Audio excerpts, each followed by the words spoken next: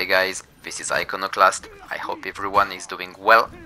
With this video, I would like to talk with you about the latest news that has just fallen concerning the future for console players on our beloved game. As I'm a part of it, I awaited those news with impatience.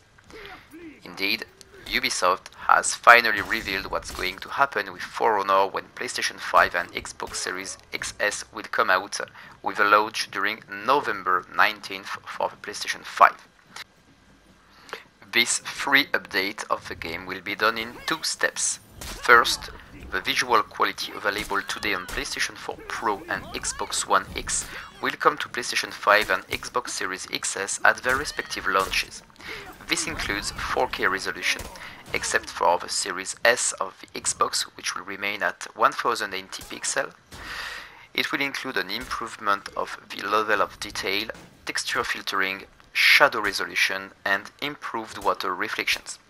All of that will be available at only 30 FPS at first. And second, the very good news is that starting with the game's Year 4 Season 4 update due in early December, For Honor will be updated to support 60 FPS across PlayStation 5 and Xbox Series XS. It's an earthquake, guys, for the gameplay and the overall approach to console gaming because, in my opinion, until now the gap between anticipation and reaction was too unbalanced on console.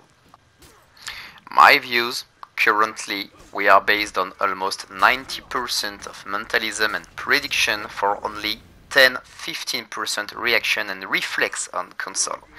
So being able in the near future to have more reactivity against light spam rather than playing guessing games which can be frustrating in several occasions, especially when you are facing characters such as Highlander or Kensei who can spam free lights combo really fast in close position, with the last CCU patch, it's even more tricky to deal with light spam on PlayStation 4.